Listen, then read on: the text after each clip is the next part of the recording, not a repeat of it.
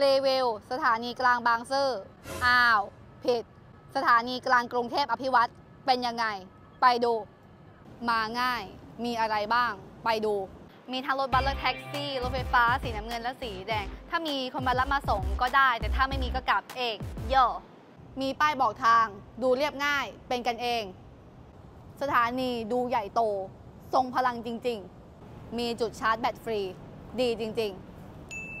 ขึ้นรถไฟล่วงหน้าได้ 20 นาที คนเยอะมาก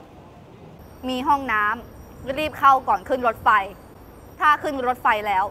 ขี้อีกทีได้ที่ลังสิตมีพี่พนักงานต้อนรับอยู่หน้าทางเข้า